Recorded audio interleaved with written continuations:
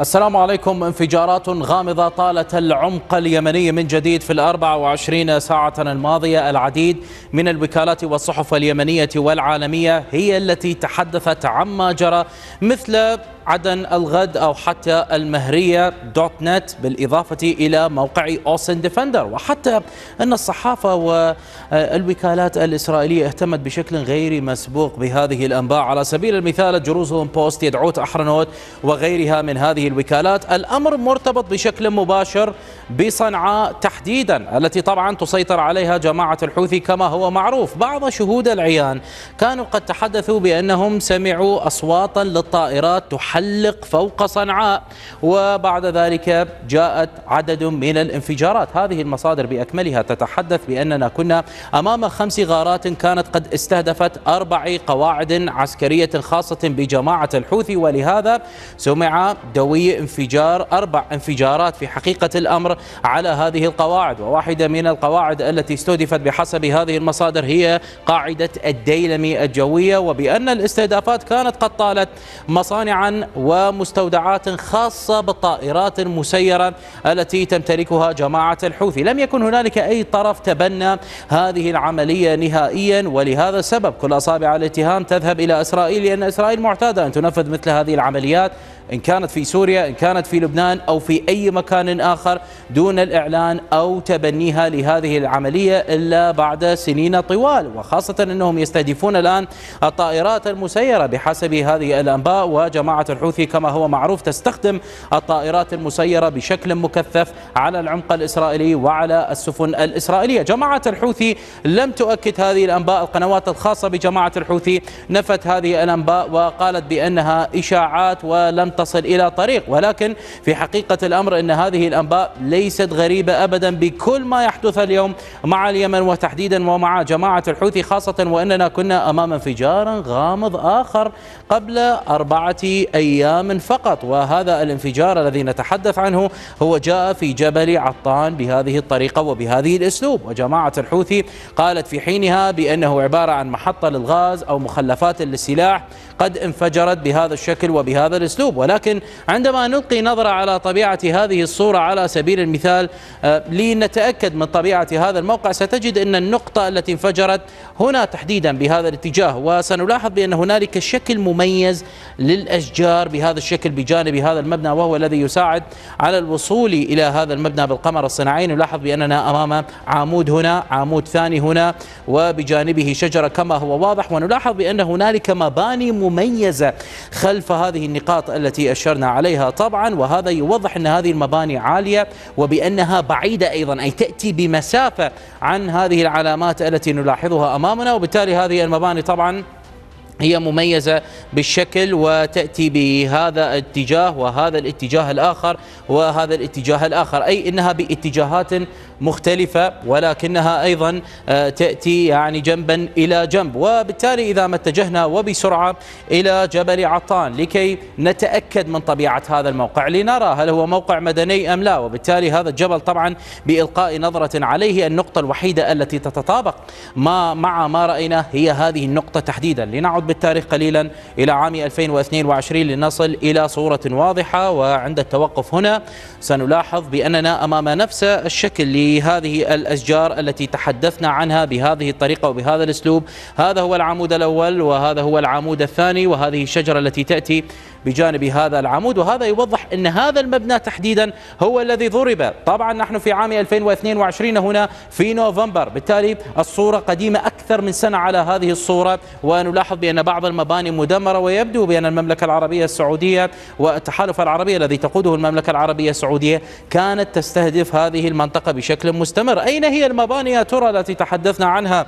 التي قلنا بأنها من الممكن أن تكون بعيدة كما هو واضح من هذه الصورة. سنجد هذه المباني موجودة بهذا الاتجاه كما تلاحظون. نفس المباني تماما لا اختلاف أبدا مما نراه وستلاحظ طبعا بمجرد التوقف هنا. ستجد فعلا أن هذه المباني تأتي بهذا الشكل. باتجاه باتجاه آخر وبهذا الاتجاه. وبالتالي هي طبعا آه، تأتي بطريقة متناسبة ومتناسقة ومتطابقة مع ما رأيناه من علامات. بالتالي كل شيء متطابق من العلامات ومن زاوية التصوير يعني كانت كل هذه العلامات حاضرة في في هذه المنطقة كما نلاحظ. وهذا يؤكد أن هذه النقطة بالضبط هي التي انفجرت بهذا الاتجاه. وكذلك ما يؤكد أن هذه النقطة هي التي انفجرت أيضا من صور التحديثات للقمر الصناعي قبل وبعد. سنرى هذه الصورة كما نلاحظ لهذه الساحة ولهذه المباني المدمرة. لاحظ كيف هي مدمرة من الماضي. يوضح لك أن الموقع ليس بالموقع العادي أبدا. هذه الصورة قبل وهذه بعد. قد تكون الصورة ليست واضحة ولكن هي لنفس الساحة. وواضح جدا هذه وواضحة هذه المباني بهذا الاتجاه. تلاحظ مرة أخرى أيضا إذا ما كررنا قبل وبعد هنا قبل هنا بعد تلاحظ اللون الأسود واضح جدا من طبيعة الدخان للنقطة التي انفجرت وهذا يؤكد بالضبط هذه المنطقة لكن هل هي منطقة عسكرية؟ مرة أخرى نعم هذه الساحة كانت هنالك صورة مرتبطة بجماعة الحوثي تحديدا. يظهر فيها هذا المبنى الذي نراه أمامنا الذي تأتي فيه قبة ويبدو على شكل جامع كما نلاحظ. بغض النظر هو مبنى طبعا تأتي فيه هذه القبة. الصورة بالضبط متطابقة مع هذه المنطقة التي نراها أمامنا هنا بهذا الشكل. لنكبر هذه الصورة قليلا لنرى أيضا الجبال. طبعا هذا هو المبنى الذي أشرنا له والصورة طبعا يظهر فيها هذا المبنى وهذه الساحة. تماما وأيضا هنالك صاروخ متجه بهذا الاتجاه وشكل الجبال هذا كان ظاهرا لنأخذ اللون الأصفر ظاهرا بهذا الشكل. هذا هو الشكل بالضبط للجبال الذي يؤكد طبيعة هذا الموقع في جبل عطان. وهذه آه، هي الصورة التي سنراها الآن هي المتطابقة مع العلامات التي رأيناها. لاحظ لا فرق أبدا بالصورة. كل شيء متطابق مع هذه الصورة. تلاحظ بأنك أمام هذه الساحة وتلاحظ نفس المبنى المؤشر هنا الذي تحدثنا عنه. وكذلك هذا هو الجبل وشكل الجبال الذي لاحظناه المتطابق تماما مع ما رأيناه. وبالتالي جماعة الحوثي لديها صواريخ في هذه المنطقة ولكن الصاروخ متجه بهذا الاتجاه إلى أي اتجاه يا ترى إذا ما طبقنا مع القمر الصناعي؟ وهذا هو الأمر المهم في كل ما نراه. هنالك حركة عسكرية في هذه المنطقة واضحة. ستلاحظ أن الصاروخ متجه باتجاه البحر الأحمر بشكل مثير وتلاحظ أيضا إذا ما ابتعدنا قليلا الآن ستلاحظ بأنه يأتي باتجاه البحر الأحمر باتجاه جنوب البحر الأحمر. هذا هو جنوب البحر الأحمر الذي نراه أمامنا وهذه هي الحديدة آه، ومحافظة الحديدة اليمنية التي يسيطرون عليها. وتعتبر نقطة انطلاق لعملية الاختطاف أو احتجاز السفن الإسرائيلية كما تقول جماعة تقول جماعة الحوثي. وكذلك أن النقطة في صنعاء هي نقطة متجهة بهذا الاتجاه وهذا يعني بأن قد تكون هذه النقطة التي يستهدفون أو يستخدمون هذه النقطة في استهدافاتهم بالصواريخ أو الطائرات المسيرة على هذه المنطقة وهي قريبة طبعا من مضيق باب المندب المهم والاستراتيجي للغاية. وبالتالي هذه النقطة لم تضرب عن فراغ أبدا وهذا يوضح بأننا يبدو حتى من هذا الانفجار الذي تحدثنا عنه يبدو أن إسرائيل تقف خلف المسألة خاصة وأن الولايات المتحدة الأمريكية عادة تتبنى هي الهجمات بشكل مباشر وهذا ما يفرقها عن إسرائيل عندما تحدث مثل هذه الأمور الغامضة. وجماعة الحوثي أساسا قبل هذه الاستهدافات التي جاءت في صنعاء والانفجارات الغامضة التي نتحدث عنها جماعة الحوثي صعدت بشكل كبير على السفن الإسرائيلية الموجودة طبعا في البحر الأحمر كما تقول جماعة الحوثي عن تبعية هذه السفن. فعلى سبيل المثال العميد العميد يحيى سريع المتحدث باسم القوات المسلحة اليمنية عن جماعة الحوثي. هو الذي أكد هذه المسألة وقال بأننا استهدفنا سفينتين إسرائيلية موجودة على البحر الأحمر و القيادة المركزية الأمريكية قالت بالعكس أنها ثلاث سفن هي التي تم استهدافها بالصواريخ وبالطائرات المسيرة و USS Carney المدمرة الأمريكية المعروفة هي التي تصدت لأغلب هذه الهجمات ولكن إحدى الصواريخ المضادة للسفن تمكنت من الوصول إلى سفينة Number 9 التي ترونها بحسب تأكيدات القيادة المركزية وطبعا وصلت لها USS Carney بعد أن طلبت الاستغاثة وأطلقت نداء استغاثة طبعا لمساعدتها ولكن ولكن جاءت طائرة مسيرة أخرى وتمكنت USS Carney من اصطيادها. وطبعا هذه المسألة هي مسألة كبيرة وخطيرة للغاية وخاصة أن هنالك بعض الأوساط أو بعض الخبراء يتحدثون أن إيران متورطة في هذه الاستهدافات وبشكل مباشر وذلك عن طريق سفينة خاصة بإيران هنا موجودة في البحر الأحمر تحديدا وهي بهشاد التي ترونها الرقم 12 كما هو مخطط وكما هو موضح من قبل شيزو إنتل. هذه هي السفينة متمركزة هنا بهذا الاتجاه قريبة من السواحل اليمنية وهذه هي السفينة المتورطة التي نتحدث عنها وطبعا ما تقوله عنه وما تتحدث عنه الأوساط الغربية أن السفينة في الثالث من ديسمبر كانت موجودة هنا هي متمركزة حتى قبل الاستهدافات الحوثية في هذه المنطقة.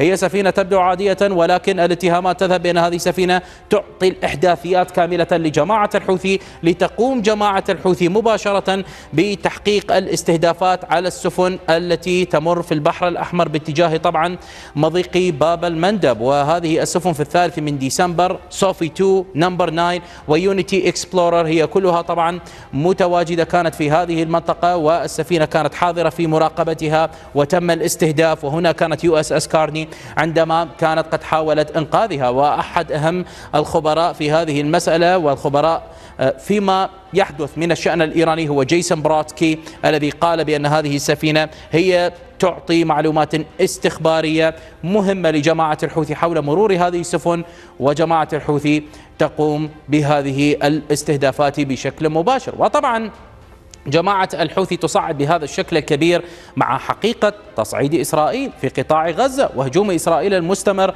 على جنوب قطاع غزة. فكان هنالك تطورا بتحديث صادر من قبل الوور مابر التي أوضحت بأن الأمور قد تغيرت هنا في خاصرة قطاع غزة لنأخذ صورة أقرب. طبعا بالنسبة لقطاع غزة وللفصائل الفلسطينية كانت تدافع بشكل مستمر عن مدينة القرارة التي طبعا إسرائيل طلبت من المواطنين أن يخرجون المواطنين الفلسطينيين أن يغادروا هذه البلدة. الفصائل الفلسطينية كانت حاضرة في تحقيق دفاع كبير ضد الجانب الإسرائيلي الذي تمكن الجانب الإسرائيلي في نهاية المطاف. طبعا بعد ضغط كبير على هذه القرية تمكن من استغلال هذه المنطقة. نعم الفصائل الفلسطينية تمكنت من التصدي للهجمات الخاصة بالجانب الإسرائيلي لكن الجانب الإسرائيلي بينما يشاغل هذه المنطقة كان يستغل طريق كيزوفيم وتمكن من التقدم بطريق كيزوفيم وتمكن تمكن من السيطرة على شارع صلاح الدين وبالتالي عزلوا دير البلح والمناطق القريبة منها مثل مخيم النصيرات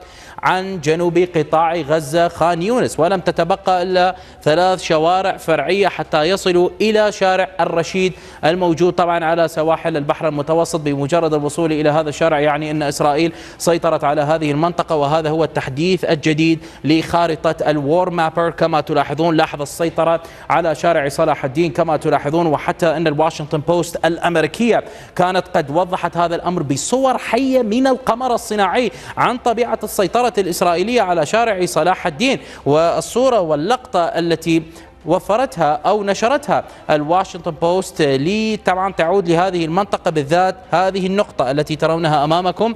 وضحت بأن التجمعات الإسرائيلية أو أن إسرائيل شكلت عددا من المعاقل على سبيل المثال هنا وكان لديهم تحرك هنا ومعقل هنا معقل هنا ومعقل آخر هنا. أي أقصد هنا تجمعات للدبابات أثناء التقدم لجعلها منطقة مؤمنة تستقبل اللوجستيات وتقوم بعمليات في الداخل.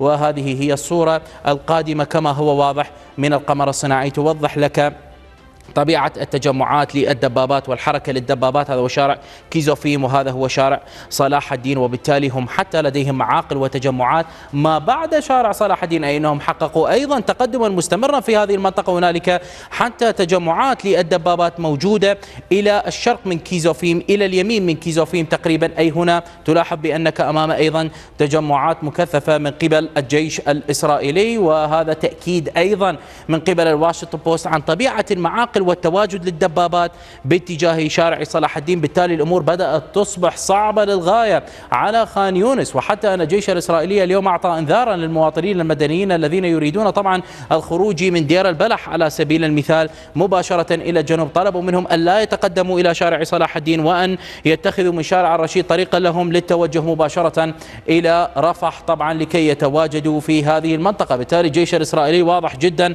بأنه في موقف قوي للغاية. الآن وواضح بأنه يخطط للتقدم إلى هذه المنطقة لعزل المنطقة الوسطية. طبعا دير البلح عن المنطقة الجنوبية في خان يونس ويفتح الباب أيضا لهم للتفكير بديار البلح. ولكن طبعا الأهم هو أن يسيطروا على هذه المنطقة الفارغة للإطباق عليها والضغط على خان يونس خاصة وأنهم حققوا تقدما هنا وهنا وهنا. وهذا ممكن أن يتسع للطرق الرئيسية المرتبطة في عمق خان يونس. والجانب الإسرائيلي يضرب خان يونس بشكل عنيف في كل ليلة وحتى في النهار من أجل تحقيق تقدم أسرع وكانت هذه لقطات من صباح هذا اليوم من طبيعة الضربات التي تطال خان يونس والتي ترى إسرائيل بأنها نقطة تواجد أهم قادة حركة حماس أهمهم طبعا يحيى السنوار. بالتالي الأمور تتصاعد بشكل أكبر في اليمن وفي المنطقة بشكل عام مع تصاعد الحرب في قطاع غزة.